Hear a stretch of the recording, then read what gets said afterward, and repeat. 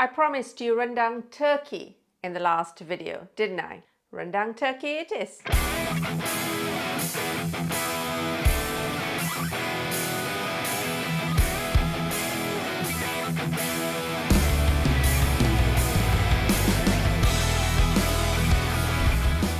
Hey folks, I'm Azlin Bloor from linsfood.com and SMR, Singaporean Malaysian Recipes.com.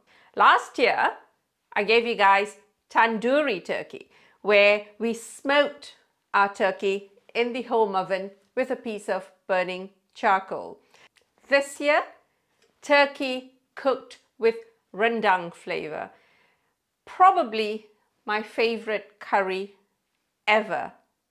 Nothing beats a good old beef rendang the way my mom, my granny, my family cooks it. So in this instance, we're going to make our marinade from scratch and then we're going to marinate the turkey and roast it for three to three and a half hours for a small turkey that I've got here.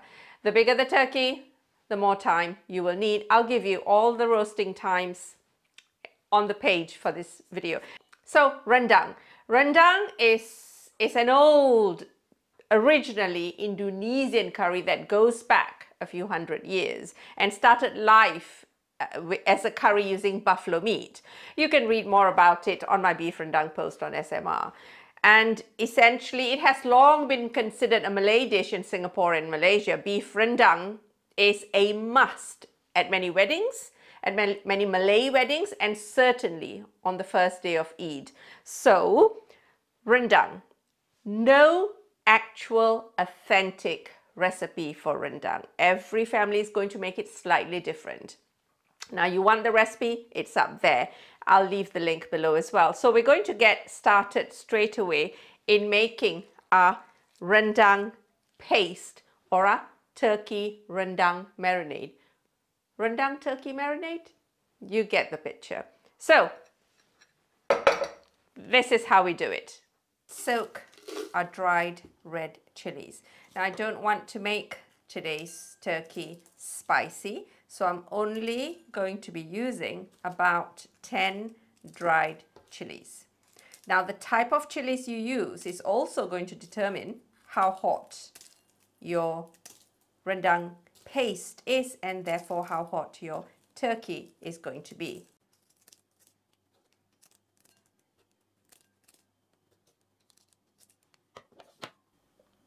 pour some hot water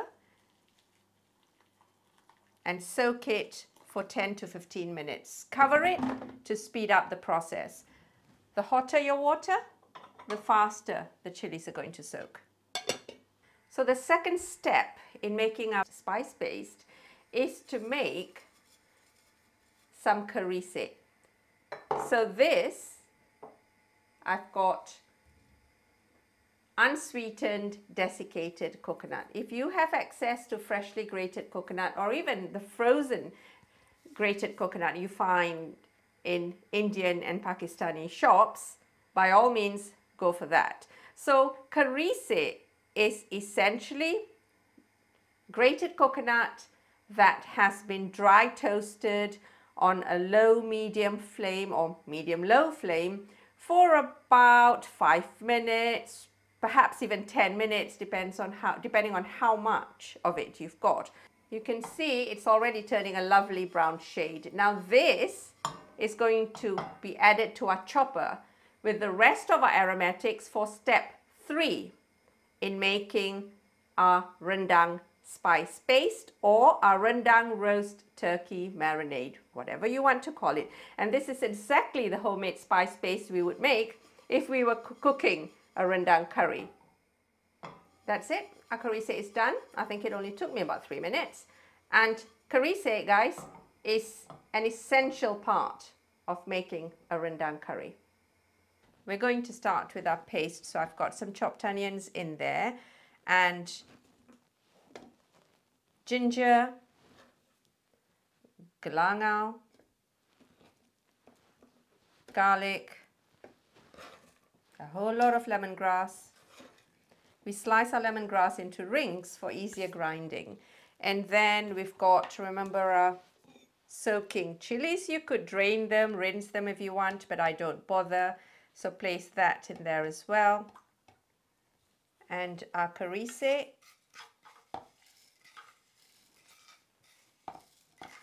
And then we've got turmeric and some ground coriander.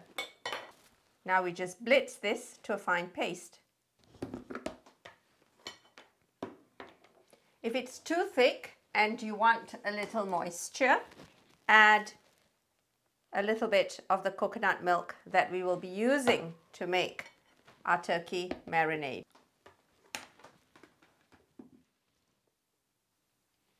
So I just wanted to quickly touch upon the leaves that we will be using in our in our recipe, in our paste and so on. I've got turmeric leaves. These are probably the only two left from my plant and um, this is what was in the freezer. I've got lots and lots of turmeric leaves that I chop off in the summer and freeze. Um, it's 30th of November today, so not many fresh turmeric leaves left on the plant. And I've got kaffir lime leaves also from my plant. Kaffir lime leaves are pretty easy to get in the UK. If you're in the US, I'm sure there are sources for it as well. Now, if you've got these leaves, either both snip them up minus the middle vein and add it to your rendang paste. So once we are done with our rendang paste, we're going to lighten it slightly with a bit of coconut milk because rendang is made with coconut milk. Now you can see that my rendang paste isn't very red because I decided to not to make it too spicy. If you want a spicy turkey, then by all means use 20, 30 dried red chilies and of the spicy variety. That's completely up to you. So once we've got the paste, all we're going to do is slap our marinade on and rub it all over. So now that we've got our marinade in our turkey, we're going to cover it with cling film and we're going to place it in the fridge overnight or for at least one hour. If you're doing this for Christmas, do it the night before to free up your time the next day. Right, so let's say the turkey has had the one hour marinating time or preferably overnight in the fridge what we're going to do is take it out of the fridge 30 to 60 minutes before you're going to cook it. And then we're going to get it ready, do the final prep work for it to get cooking. Now, I've made this with this particular marinade with goose, with duck, with chicken. And half the time I stuff the bird.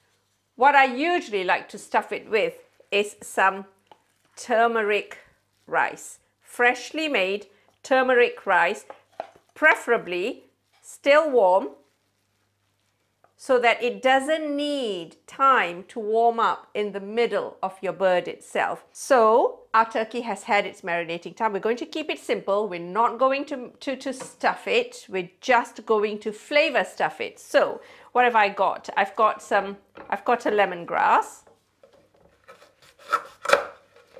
Now, if you want to use, if you want to know how to properly use lemongrass, I've got a video showing you how to do it, um, which you'll, I'll give you the link for it, but you can also, but you, you'll also see the link to it at the end of this video. So we're just going to bruise this lemongrass. That means hit it down with the back of your knife. So essentially, you are releasing the flavors, the aroma, the essential oil. So we're going to place this in the cavity. And then I've got some galangal because why not? I buy galangal in bulk and then freeze it because I can't, I can only get it online here where I am in the UK. So I freeze it so my galangal is soft and easy to cut. So stuff the cavity the turkey cavity with the galangal too. Galangal is a natural accompaniment to um, lemongrass. And then, should we do some ginger? Why not? No need to um, peel. Just make sure that it's scrubbed clean at least. And again, we stuff that. And then, let's have some lime slices. because lime makes everything better. And again, it all goes in there. And then, since I've got some lime leaves, lime leaves are fairly easy to get um, in, the, in UK supermarkets. Tear them to allow the flavors, the aroma and the essential oils to permeate your meat and your food better. So lime leaves and then I've got some turmeric leaves. The aroma of turmeric leaves is the defining character of a Malay rendang, of a Malay beef rendang. Turmeric leaves are extremely easy to grow. All you need is to have access to some fresh and not previously frozen turmeric root, with which in the UK, once again, is so easy to find. Natura does it, Ocado does it, Waitrose does it. So if you have access to fresh turmeric root, all you do is pot it in some compost, let a little bit of it peep out of the compost, and before you know it, you'll have shoots. But it's got to be during springtime at the very earliest. So the ingredients in making your rendang paste. Uh, the only thing perhaps that you'll find trouble with is the galangal. Galangal paste is easily found in larger supermarkets in the UK. Um, Thai Taste, the brand, but they both do their own version of galangal paste, which is essentially mainly galangal and pretty good.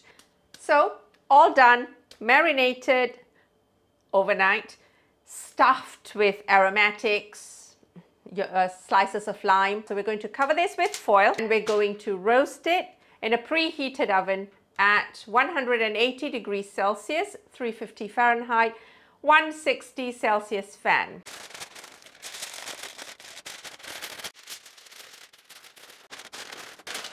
Okay, this is going in the oven, which is down there and we're going to take the foil off after two and a half hours. So roughly about an hour before the end of cooking time and to let it brown and baste it lightly with the liquid in there. And then after three hours, because this is a small turkey, we're going to check to see whether the turkey is done.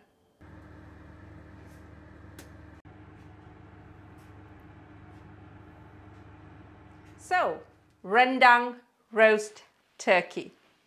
How would you serve it? Now that depends on what sort of a Christmas meal or festive meal you are having. Are you having a European type of meal or an Asian type of meal? So for example, if I was in Singapore and I'm having Christmas lunch for friends and this is what I'm doing, instead of roast potatoes and gravy and stuff here, I'd serve it with perhaps a little bit of yellow rice or turmeric rice. Now, I don't have a published recipe of that, but what I'll do is I'll give you the full recipe on how to cook nasi kunyit or nasi kuning, which is yellow rice, turmeric rice. On the, on the page for this video, I'll give you the full recipe for it. So if you want to serve it. Now on Lin's Food, link also there, I have a recipe for what I call spicy gravy. It's not spicy hot spicy, but it's got lemongrass, galangal, so the same sort of aromatics that went into our rendang paste. And that would be a great gravy to serve with this rendang turkey. Whether you are serving it alongside roast potatoes and your standard carrots, Brussels sprouts, or you're serving it with some rice to do it Asian style. If it is a completely Asian meal, so treat this turkey like you would grilled chicken or fried chicken. So serve it alongside other sides that you would do with your Asian meal. So you'd have rice and perhaps you'd have a little bit of sayur lemak, which is a vegetable, light vegetable coconut based curry and a side vegetable dish like kangkong belacan, for example. So how you serve it really does depend on what sort of a meal you're having. So if we're doing this here for Christmas Day here in the UK, I'd have this, I'd have roast potatoes, I'd have Brussels sprouts, what else do we usually have? I'd have some carrots, perhaps not red cabbage with this. So we'd have those. And then I would certainly have the spicy gravy I mentioned before. So there you go. I shall give you the recipes, the link, etc, etc, the full recipe for this, the ingredients, the full list of ingredients on this page below this video. So there we have it. Rendang roast turkey. Even my vegetarian kids went, whoa, that smells good. So there you go. Now, if you enjoyed this recipe, the usual, you know the drill. Like the video, subscribe to my channel, turn that notification bell on so you know when I've got a new video out. Until the next video, I'm Azlin Bloor. I'll catch you guys later.